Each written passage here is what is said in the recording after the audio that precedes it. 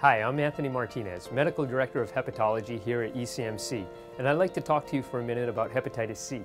Hep C is a virus that causes liver disease. Once exposed, 80% of patients remain chronically infected.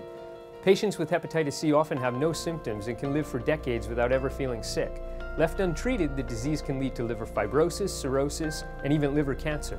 Nearly 5 million adults in the United States are infected with the virus, most of whom are baby boomers. Recently, the CDC updated their screening guidelines and recommend that anyone born between 1945 and 1965 have a one-time screening blood test regardless of other risk factors. Three out of four patients don't know that they're infected, and as a result are not getting the necessary medical care and treatment. I encourage you to contact your medical provider to discuss a screening test today. For more information about this topic and other health topics, please visit WGRZ.com.